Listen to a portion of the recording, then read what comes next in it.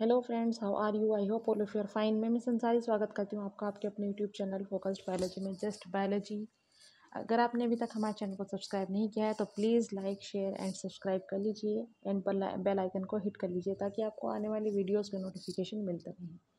आज का हमारा टॉपिक है ह्यूमन रिप्रोडक्शन जो कि ट्वेल्थ क्लास की एन e से है और आज हम यही स्टार्ट करने वाले हैं। सो so, इससे अलग हमारी बायोलॉजी में प्रीवियस ईयर्स की नीट नीट प्रीवियस क्वेश्चंस की सीरीज़ चल रही है, जिसमें मैं एवरी क्वेश्चन को डिस्कस करती हूँ और आप चैनल को सब्सक्राइब कीजिए ताकि आपको आने वाले वीडियोस के नोटिफिकेशन मिलता रहे और आप उन वीडियोस का भी फ़ायदा लेते रहें।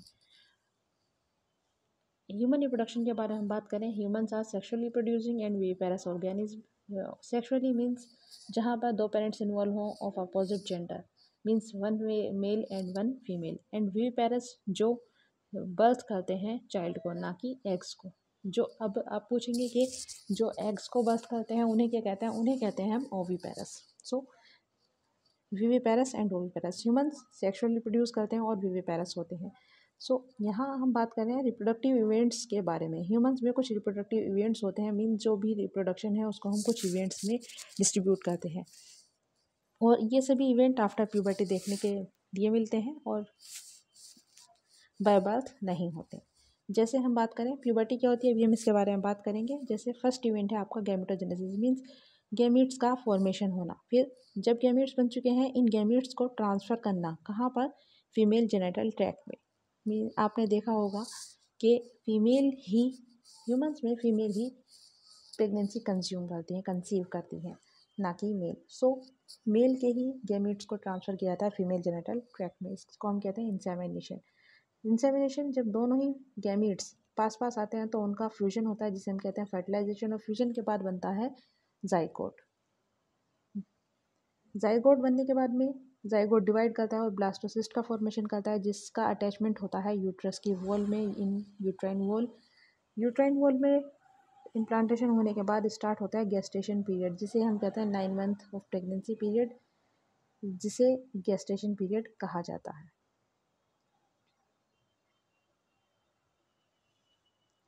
गेस्टेशन मीन इम्योरिंग डेवलपमेंट पीरियड फिर आता है आपका parturition period parturition nine month pregnancy के बाद में डिलीवरी ऑफ़ बेबी ये पार्चुरेशन कहलाता है। और ये सभी इवेंट्स जो होते हैं, ये होते हैं आफ्टर प्यूबर्टी प्यूबर्टी क्या होती है? जब आपको सेकेंडरी सेक्शुअल कैरेक्टर्स मेल या फीमेल में शो होने लगे, उसे हम कहते हैं प्यूबर्टी प्यूबर्टी इंडिया में थर्टीन टू फिफ्टीन के अंडर में आ जाती है ये मेल में एंड फीमेल दोनों में, और यहाँ पर होता क्या है, यहाँ पर सेकेंडरी सेक्शुअल कैरेक्टर डेवलप्स होने लगते हैं।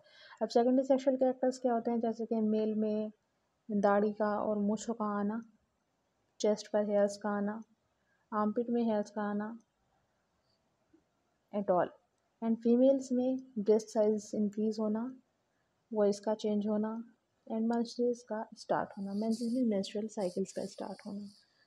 है difference between male and female reproductive events सभी मेल एंड फीमेल में रिप्रोडक्टिव इवेंट्स अलग अलग होते हैं, जैसे गेस्टेशन आपको मेल में देखने के लिए नहीं मिलेगा। एग्ज़ाम्पल गैमिटोजेनेसिस मेल में थ्रू आउट लाइफ होती है और फीमेल में फिफ्टी की एज तक होती है। फीमेल में मेंसेस जो होते हैं, वो फिफ्टी की एज के बाद बंद हो जाते हैं, जिसे हम कहते हैं मीनोपॉज इसके अगेंस्ट एक टर्म होता है मिनार्की जिसमें मेंसेस स्टार्ट होते हैं। वाट हैपन्स एट प्यूबर्टी अब प्यूबर्टी पे होता क्या है? चलिए इसमें बात करते हैं। प्यूबर्टी में हमें कुछ चेंज देखने के लिए मिलते हैं और ये चेंज होते हैं कुछ हॉर्मोन्स की वजह से। जैसे हेयर की ग्रोथ का होना, जैसे फेस पर ग्रोथ होना लेग्स पर ग्रेथ का हेयर ग्रोथ होना चेस्ट पर आर्म पिट पर आर्म पिट मीन बगलों में एंड बिटवीन लेग्स ठीक? प्राइवेट पार्ट्स का ग्रो होना, जैसे पेनिस एंड टेस्टीज का बिगर होना फेस पर फेस पर पिंपल्स का आना और दाढ़ी का आना एंड हाइट का इंक्रीज़ होना ब्रेस्ट साइज़ का इंक्रीज़ होना और मेंस्ट्रुएशन होना।